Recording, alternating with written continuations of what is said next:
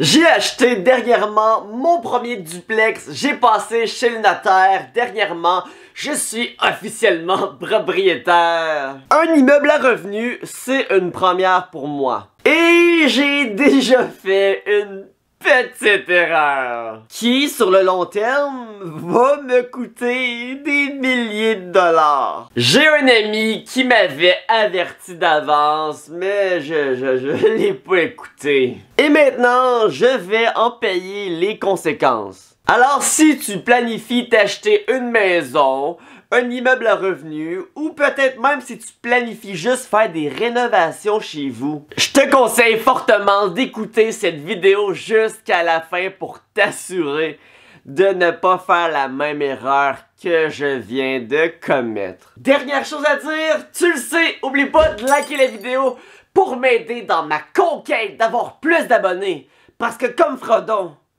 j'ai une mission. On commence ça maintenant.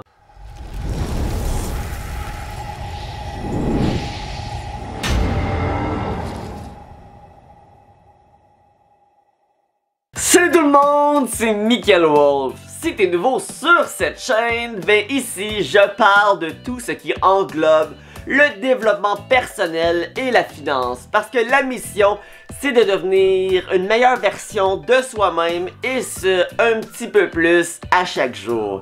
Alors je t'encourage fortement à t'abonner. Bon, le duplex que j'ai acheté a été mis sur le marché à 159 000 mais en ce moment, le marché est carrément fou.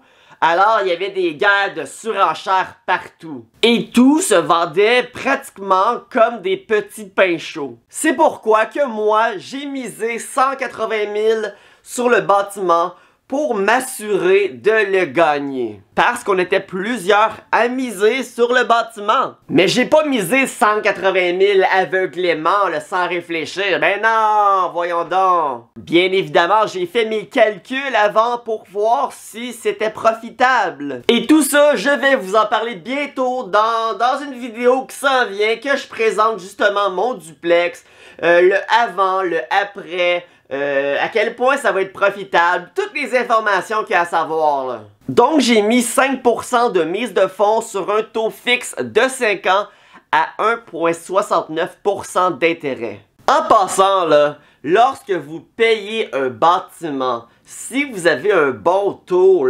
payez-le sur le long terme, sur la plus longue durée possible. Même si au final, vous allez payer plus. On s'en fout, parce qu'avec tout l'argent que vous sauvez maintenant, vous pouvez vous en servir pour faire encore plus d'argent en l'investissant. Donc, pour ma part, j'ai une hypothèque de 171 000 à 1,69% ce qui me donne euh, une hypothèque de 698 par mois. Jusque-là, ça va bien, il a pas d'erreur encore. Mais quand t'achètes un endroit, ça arrive souvent qu'il y a des petits trucs à changer, des petites rénovations à faire. Et mon ami m'avait dit, tu peux emprunter jusqu'à 10% de plus du prix du bâtiment que tu rajoutes dans le fond euh, à ton hypothèque pour faire des rénovations. Puis moi, ben je me suis dit, j'ai pas tant de rénovations à faire, j'ai pas besoin d'emprunter plus. Puis suis aussi dit, ça ne tente pas de me casser la tête avec ça. Ça fait que je l'ai pas fait. Boum, j'ai les clés en main. Premièrement, on repeinture toute la maison.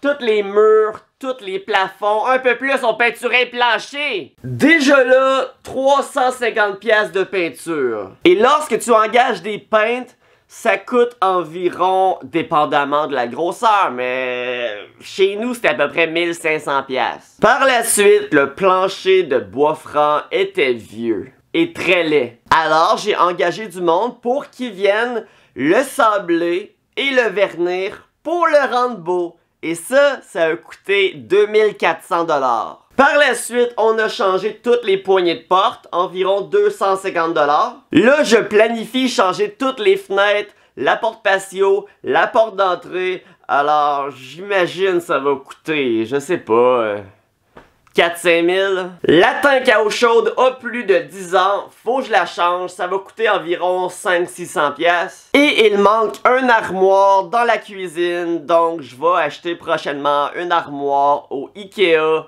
J'ai aucune idée ça va coûter combien, là, mais D'après moi, c'est dans les 4 chiffres au moins. Là. On va aussi éventuellement changer toutes les portes. C'est environ 100$ de la porte. En ce moment, il y a des vieux ventilateurs laids au plafond qui marchent à moitié. On va enlever ça, on va mettre des lumières à la place. En gros, ce que je veux dire, c'est que les coûts s'additionnent rapidement. Et il y en a facilement pour au moins 10 000 pièces de rénovation. Mais là, moi, j'ai, j'ai, cet argent-là, je l'ai pas rajouté dans, l'hypothèque, comme mon ami m'avait conseillé de faire. Ça, ça, ça fait que je fais quoi, moi? Faut que je paye là, là. Faisons le calcul. Disons que j'aurais rajouté 10 000 à mon hypothèque. À quel point mes paiements auraient augmenté? Mes paiements auraient augmenté environ à 740 Donc, on va, dire 50 pièces de plus, ok?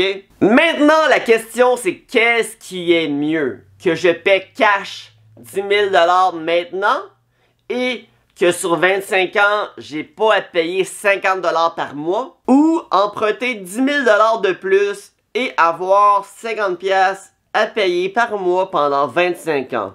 Voyons voir. 25 ans, c'est exactement le nombre de temps que ça prend pour décupler ton argent si tu l'investis à 8% par année. Et si tu écoutes souvent mes vidéos, tu sais que moi, ma stratégie d'investissement, c'est une stratégie sur le long terme qui donne justement en moyenne 8% par année. Donc sur 25 ans, si je prends ce 10 000 et que je l'investis à 8%, ben à la fin, je vais être rendu à 100 000 Tandis que si je paie 50 par mois, donc 600 par année, au bout de 25 ans, c'est 15 000 que ça va m'avoir coûté.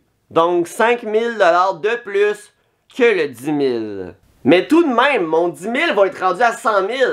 Fait que tu prends le 100 000, t'enlèves le 15 000, t'es quand même rendu à 85 000. Donc au final, j'aimerais mieux avoir 10 000 de plus dans mes poches pour l'investir et augmenter mes paiements de 50 par mois. Mais non, je l'ai pas écouté mon ami. Il en a pas de rénovation à faire ici. C'est neuf. C'est neuf la place.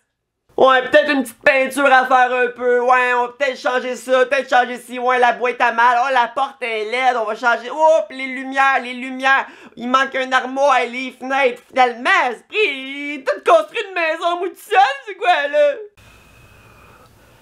La bonne nouvelle, par contre, c'est que cette erreur, je l'ai réalisée assez rapidement. Donc, je ne la recommettrai pas dans le futur. Et honnêtement, c'est la première fois que je vais gérer un immeuble à revenus. Je suis rendu propriétaire. Je vais avoir un locataire. Je vais avoir des choses à gérer de plus qu'ici en appartement. Donc, j'ai aucune idée à quel point je vais aimer ça. Peut-être je vais tomber en amour avec euh, le métier. Je sais pas si on peut appeler ça vraiment un métier. avec, euh, mais peut-être je vais aussi détester ça. On sait pas l'avenir, hein? Je ne sais pas non plus si je vais réellement me sentir chez moi malgré que quelqu'un juste en bas. Puis c'est insonorisé, mais c'est pas insonorisé extrême extrême là, comme euh, si ça serait un, nouveau bâtiment 2021 que tu peux crier puis t'entends pas. Là, quand la personne est en bas, je peux entendre un peu. Mais c'est le sacrifice que j'ai été prêt à faire pour construire euh, davantage ma richesse. Puis je planifie pas non plus rester dans cet immeuble-là pendant toute ma vie.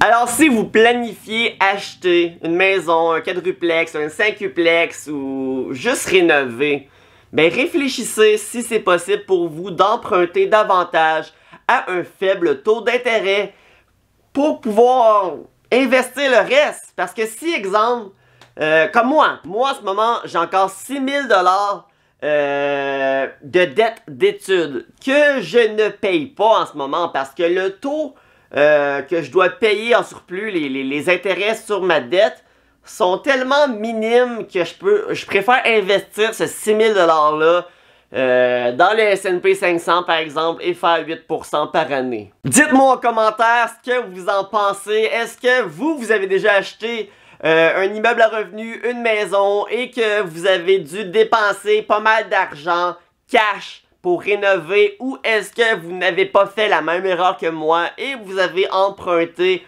un peu plus pour justement pas avoir à débourser immédiatement euh, 5 000, 6 000, 7 000 dollars de ta poche. N'oublie pas de liker ma vidéo, abonne-toi à la chaîne si c'est pas déjà fait et sur ce, je vous souhaite une excellente fin de journée.